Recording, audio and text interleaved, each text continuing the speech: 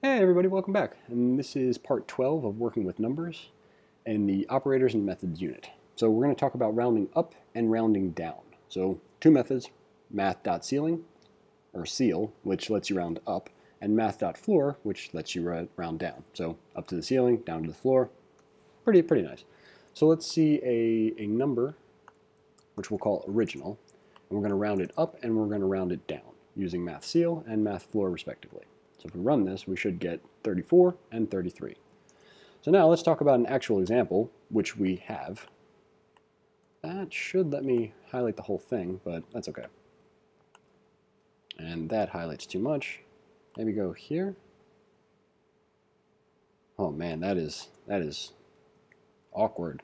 Anyway, let's go ahead and paste this into the replit. So we have our score as an 89.4. So we have a grade from a teacher who gets it, math.ceil, and we have a grade from a monster in teacher's clothing.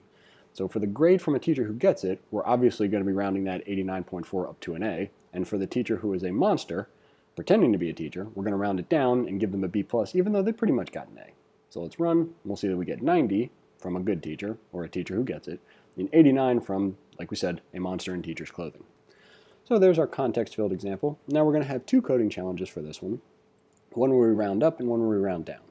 So we're going to start with one where we round down. Let's go ahead and copy this over. At this point, this should be, uh, if you've been watching all of these videos, what we're doing now should be pretty, um, you should be well versed, let's say, in what we're doing. So we'll say variable result is equal to the input rounded down, which is going to be math.floor rounded down.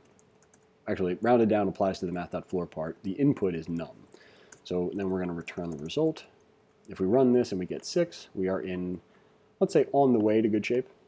If we copy this and bring it back to the input window, we will be in fully realized good shape. Excellent. Now, I'm not going to read the entire second part. I'm going to. No laziness. We are going to complete a function that takes in one number parameter and returns the result of rounding that number up. Your function should create a variable and assign it to the result of applying math.ceil method to the input parameter, then return that variable. Below is an example of the code running, assuming that you will have completed the described function round up. Uh, there we go. We'll paste this in there.